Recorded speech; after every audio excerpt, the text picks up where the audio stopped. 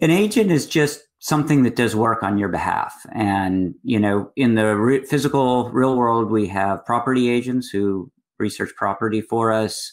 We had used to have travel agents who would, you know, book travel for us. This is less so, but an agent's just something that does work on your behalf.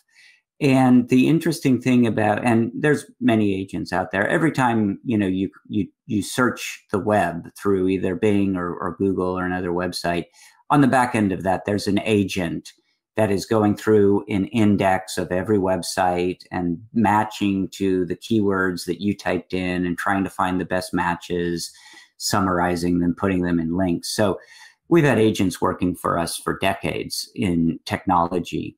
But the interesting thing about AI is that the agents now speak our language because of models, you know, like um, the GPT models from OpenAI and and others, and the Phi models from Microsoft. So there's a lot of work at Microsoft on what we call declarative agents, which is where you tell the agent what you want it to do, just in whatever your native language is. Um, and then the agent will go off and try to do it.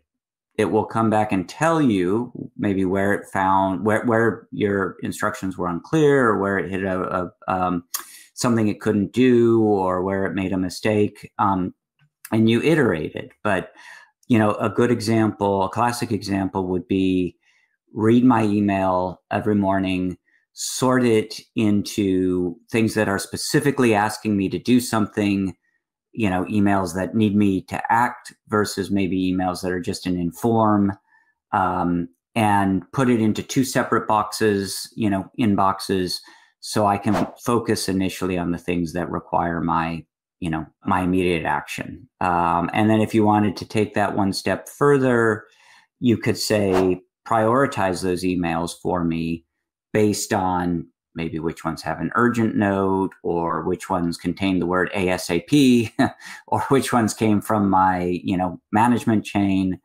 Um, and then if you wanted to go further you could say create an initial response right what you think would be the response and then i'll come in and edit it. But you can kind of see how just a, a very simple workflow of read my email and if the if the agent gets that right then you could give it some criteria to prioritize and you could take additional action. Um, and so that would be just a, a simple example where you can create an agent just typing in natural language.